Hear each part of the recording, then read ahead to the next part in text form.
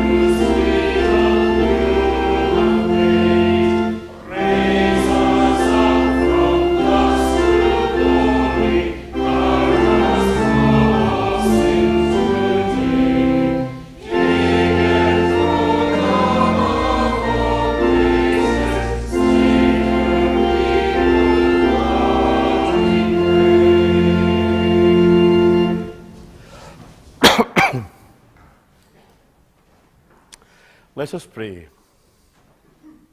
God, we praise you. God, we bless you.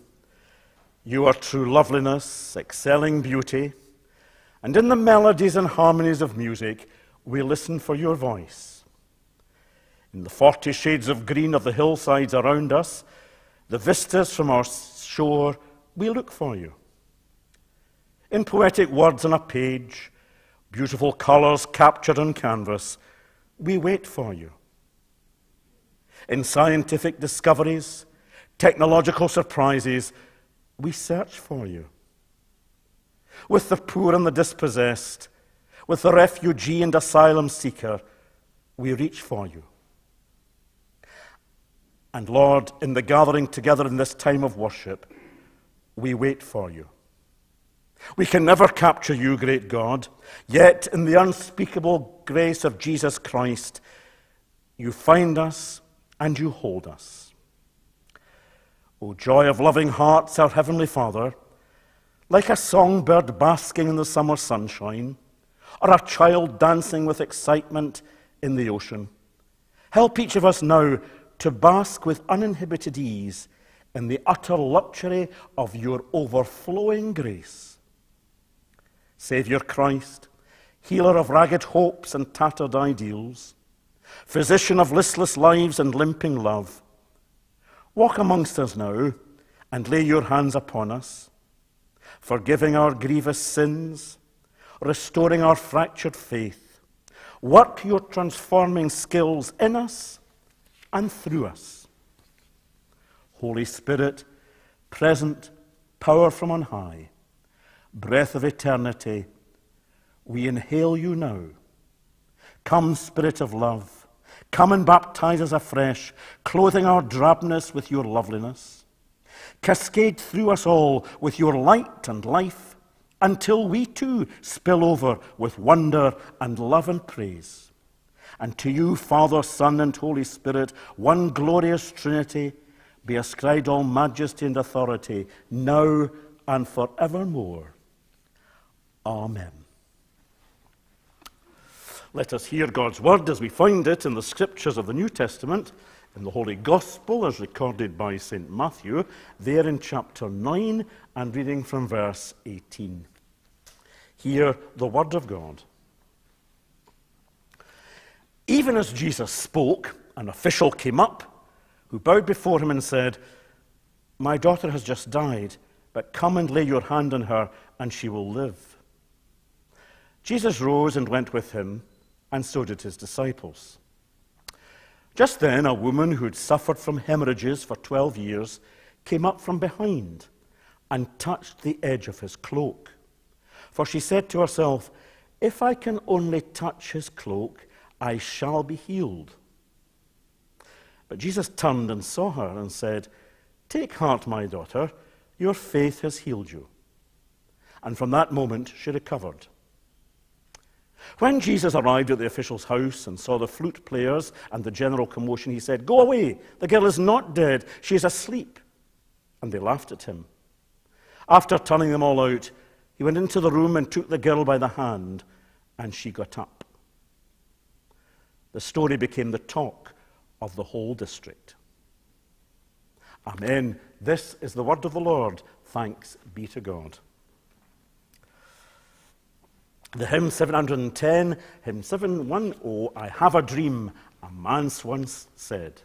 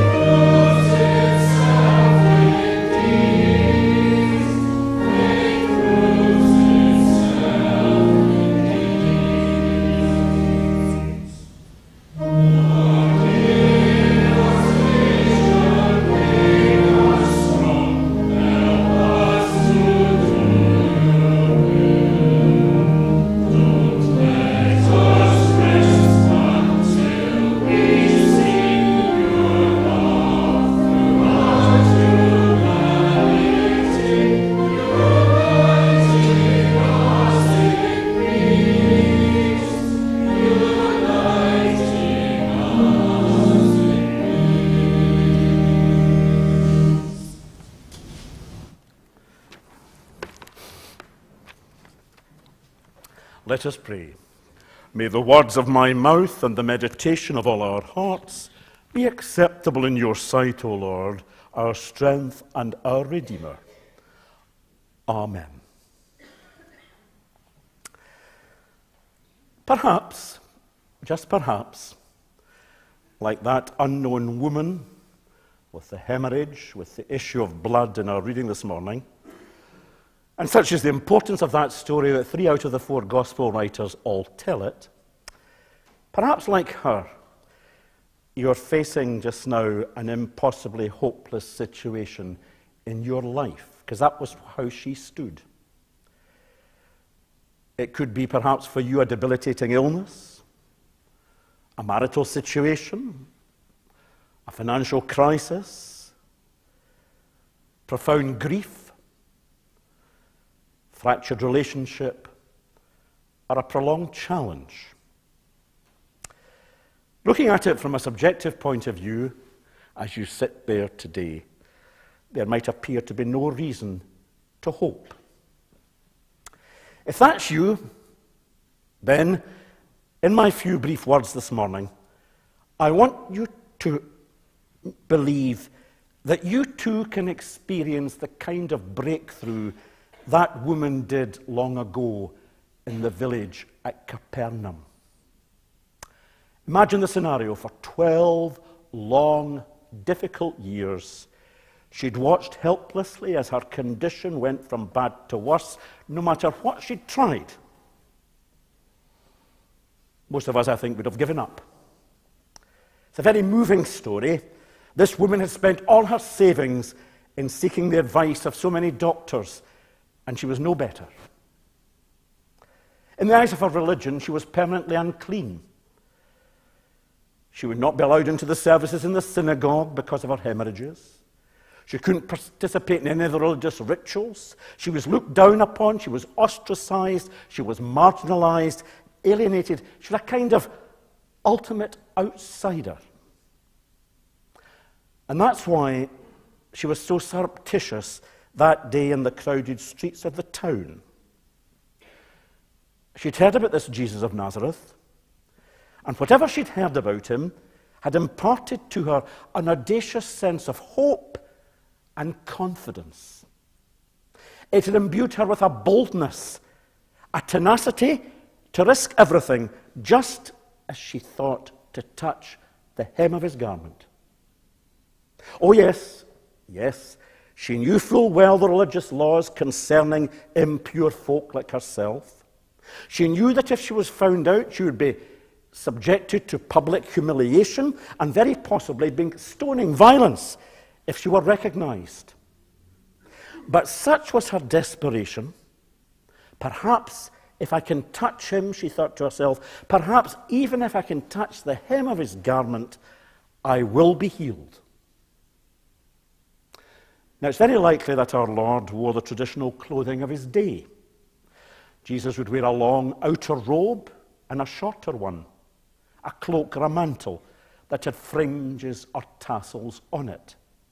At each of the four corners of the shorter outer garment was a tassel which had one thread of blue woven into it. And since that outer garment was shorter, this prevented it from touching the ground. And in the Jewish faith, those four tassels represented the power and the presence of God. And that woman believed in Capernaum that if she could just touch one of them, then she'd be healed of her chronic illness. And against all odds, now I've walked through the ruined streets of Capernaum today. It's an, an archaeological site, and the streets are so narrow, you can imagine the crowds must have been jam packed together. Against all odds, in that, those crowded streets, she made it to Jesus. She touched the garment, and the bleeding stopped. But she got more than she bargained for. For you see, Jesus felt the surge of power flowing from him. In other words, it was real. It wasn't just symbolic any more than the sacraments are just symbolic. Jesus wanted the woman to face him and acknowledge what had happened to her. Jesus wanted to make sure that in the full view of all the townsfolk, In the open, the woman's new status would be made known. He wanted to make sure that no longer would she be excluded in the wider community, no longer scorned, but now she'd be able to converse and resume a normal life. Now she'd be able to go back to the synagogue on the Sabbath. Now she'd be able to go back to her family. Now she can invite friends round to her house. Take heart, daughter, said Jesus. Take heart. Your faith has made you well. Jesus told her that her faith had healed her. Not her actions, but her faith. And that faith was certainly expressed in her actions. It wasn't her fingers touching the hem of his garments that healed her. It wasn't the hem of the garment, but it was his love, his grace, his power that made her whole. If I touch even his clothes, she said, I will be made well. When I've had the privilege of being on a pilgrimage to the land of Israel, Palestine, the land of our Lord Himself, which I've done four times, and I'd like to think that I'll be able to do it once more, I've marveled at the materialistic forms of Christianity the flickering candles, little bunches of flowers, the crude stucco statues. And I've watched Christians from all over the world kneel in homage at the place in the Church of the Holy Sepulchre in Jerusalem, the site of Calvary. And they've knelt in deep devotion and they've placed their rosary beads and their little Bibles and their crosses on the spot where tradition has it that the body of our Lord was taken down from the cross. And I've watched them in very deep devotion. Mistaken and misdirected, some would argue. And yet, and yet, there is something real behind it all. I had only to sense the intensity of the devotion of those simple worshippers from all over the world to be ashamed of my own cold, rational faith.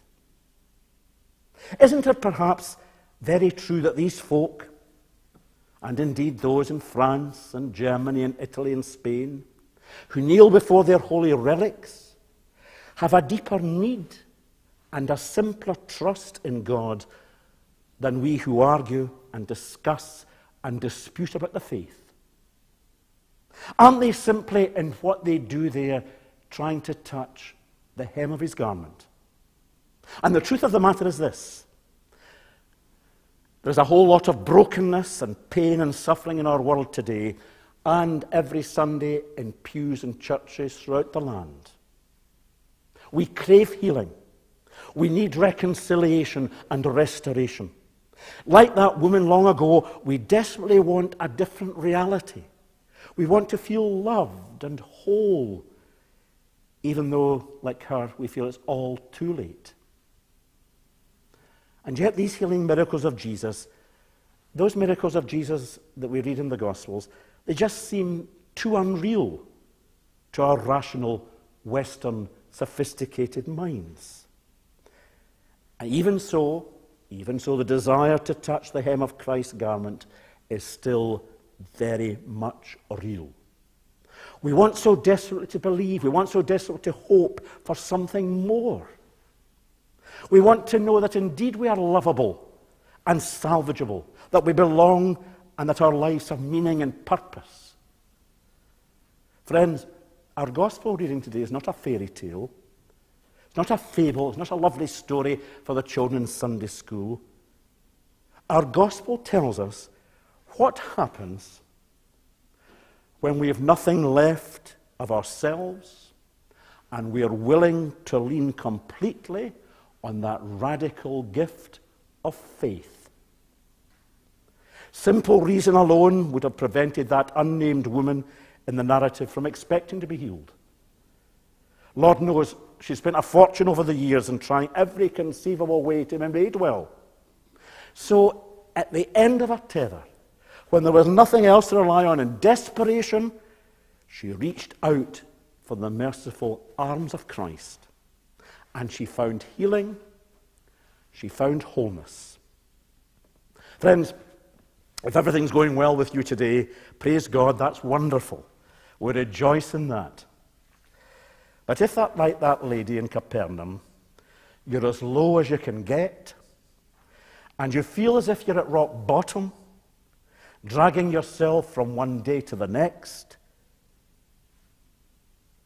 then drag yourself in the direction of Jesus. And when he comes to you very shortly in the sacrament, take his body, take his blood, draw on his healing power, knowing that our Lord loves you more than anyone else ever has, and that he wants to break through to you by responding to his word, by touching the hem of his garment, expect to be made whole, and wonder upon wonder, that same surge of healing power will flow from him into you. Because, quite simply, he is the same yesterday, today, and forever. Friend, you can bet your bottom dollar that Jesus knows when we're reaching out to him, and he will not leave us bereft. And as the elements come round to you today, and you hear him ask, Who touched me? May you have the courage to say your name. And now unto God the Father, God the Son, and God the Holy Spirit be ascribed all honour and glory as it was in the beginning, is now, and ever shall be, world without end. Amen. Friends, since the Reformation in 16th century Scotland, when Protestantism became the recognized faith of the land, congregations gathering in great city churches and small village communities to celebrate the Lord's Supper have professed their faith in the words of the Apostles' Creed for over 400 years. In that common faith, we follow in that tradition. And so I would ask you to open your hymn book at number 628 to follow in their stead and stand together as we recite our faith in the words of the Apostles' Creed. Please stand in your place.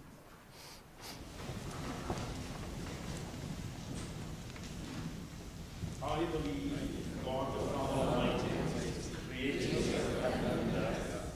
I believe in Jesus Christ, God's only Son, our Lord, who was conceived by the Holy Spirit, born of the Virgin Mary, under Pontius Pilate, was crucified, died, and was dead. He descended to the dead. On the third day he rose again. He ascended into heaven. He is seated at the right hand of the Father, and he will come to judge the living and the dead. I believe in the Holy Spirit, the Holy Catholic Church, the communion of saints, the forgiveness of sins, the resurrection of the body, and the life everlasting. Amen. Please be seated.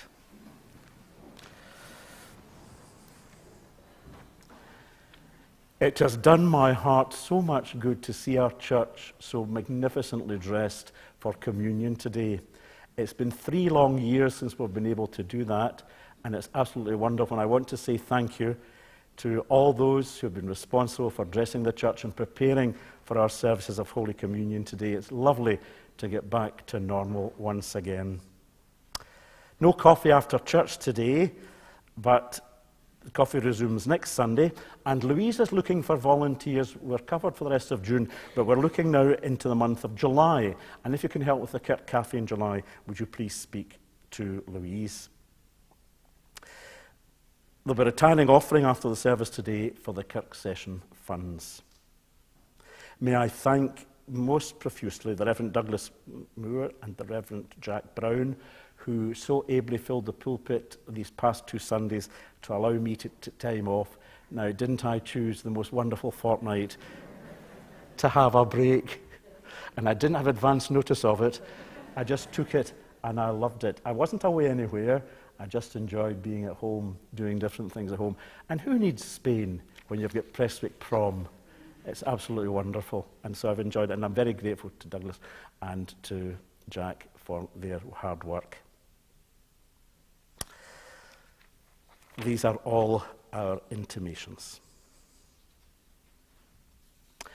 Come to the holy table not because you must, but because you may. Come not to testify that you're righteous, but that in your frailty and sin you stand in constant need of heaven's mercy and help. Come because you love the Lord a little and want to love him more. Come and touch the hem of his garment. The communion hymn, number 664, singing the first four verses Here, O my Lord, I see thee face to face.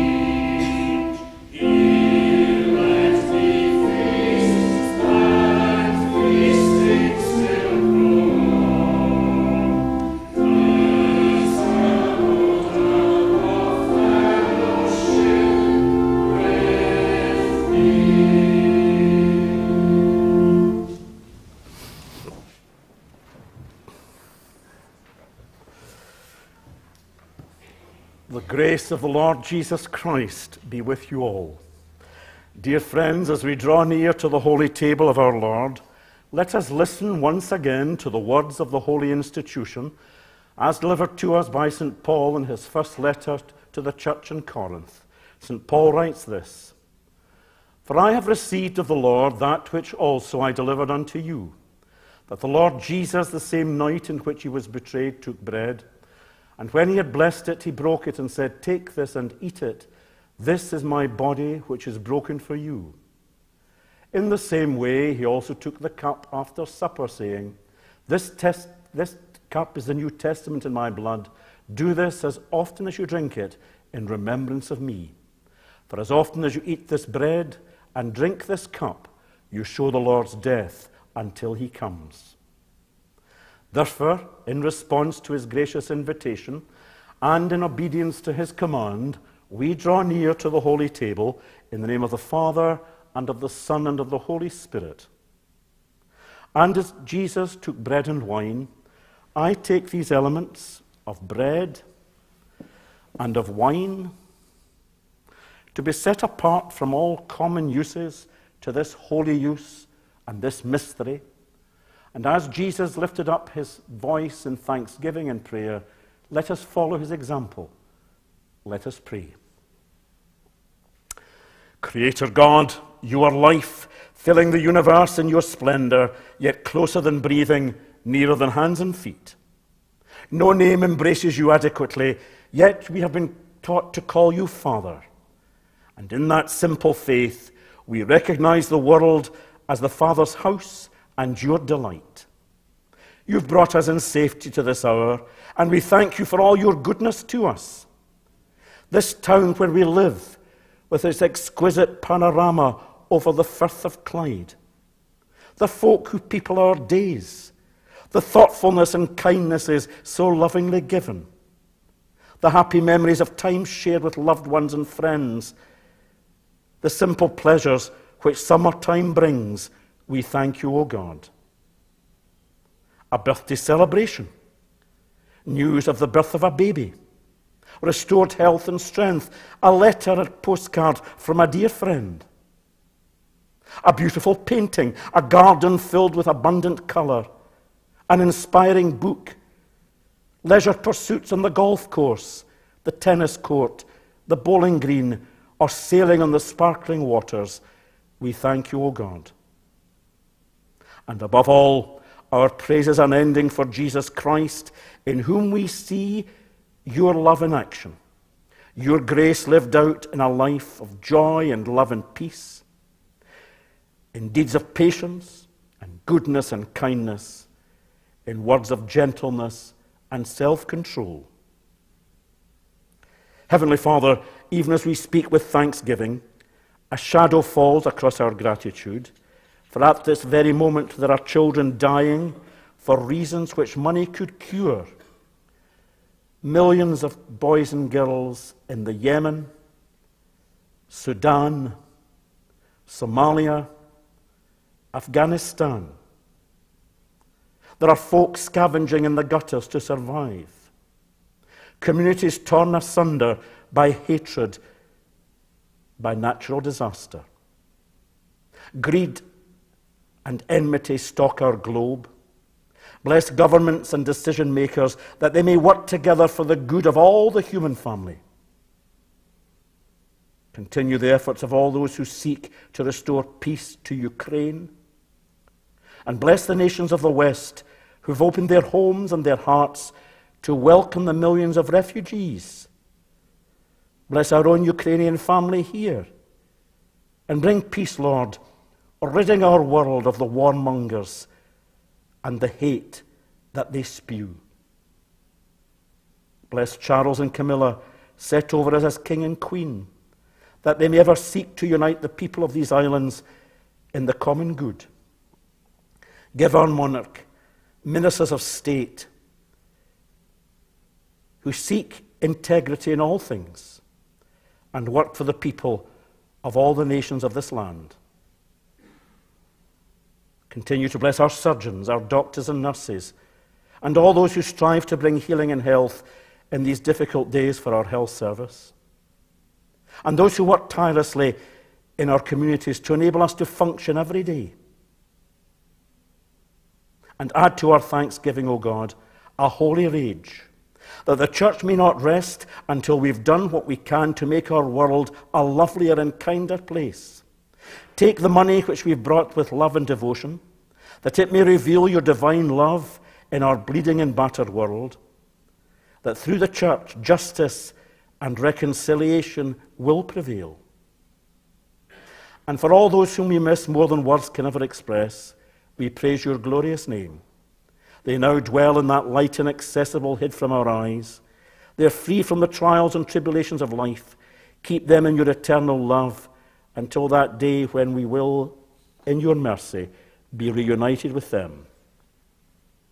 And now, sovereign God, pour out your Holy Spirit upon this bread and wine, set apart for this holy use, that they may become for us the very body and blood of our Saviour Christ in this sacrament, Lord, may we indeed touch the hem of his garment through him who stands amongst us now, healing and blessing, even that same Jesus Christ in whose words we say, Our Father, who art in heaven, hallowed be thy name. Thy kingdom come, thy will be done on earth as it is in heaven. Give us this day our daily bread, and forgive us our debts as we forgive our debtors. And lead us not into temptation, but deliver us from evil. For thine is the kingdom, the power, and the glory forever. Amen. According to the holy institution, the example and the command of our Lord Jesus Christ, and as a memorial of him, we do this. Who the same night in which he was betrayed took bread, and when he had blessed, he broke it and said, Take this and eat it. This is my body which is broken for you. Do this in remembrance of me. In the same way, he also took the cup after supper, saying, This cup is the New Testament in my blood. Do this as often as you drink it in remembrance of me. Lamb of God, you take away the sins of the world, have mercy upon us. Lamb of God, you take away the sins of the world, have mercy upon us. Lamb of God, you take away the sins of the world, grant us your peace.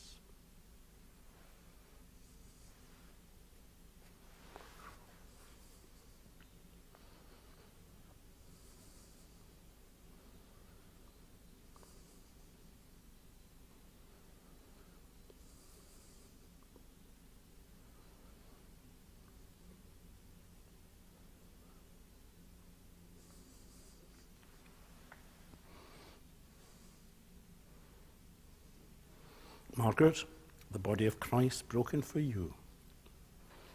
Craig, the body of Christ broken for you.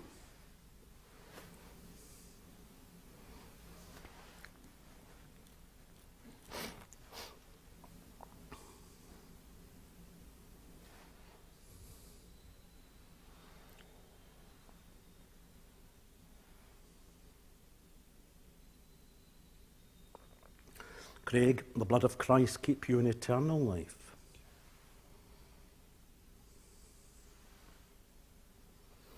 Margaret, the blood of Christ keep you in eternal life.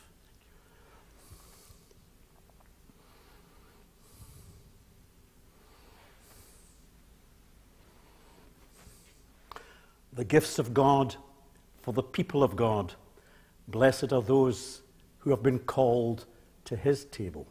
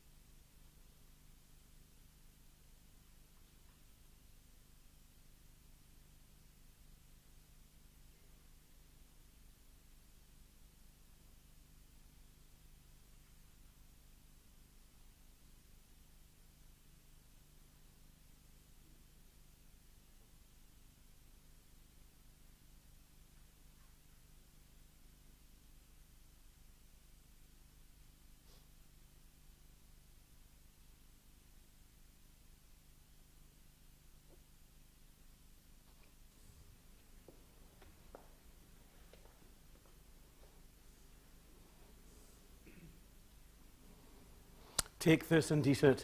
This is the body of Christ broken for you. Take the cup and drink from it in remembrance of him.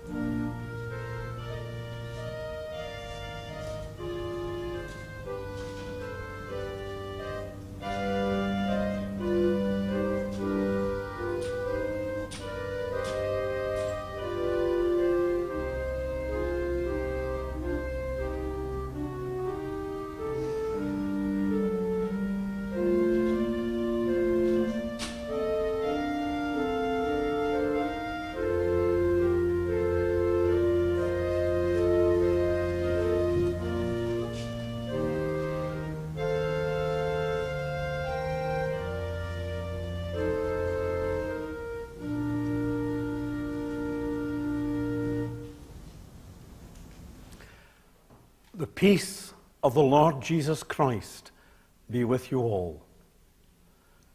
Let us pray.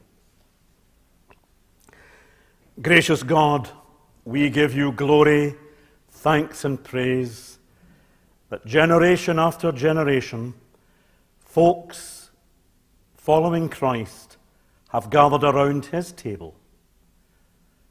It has been our privilege to do so today, Lord, that Christ has met us and brought us into communion with him and with all who love him.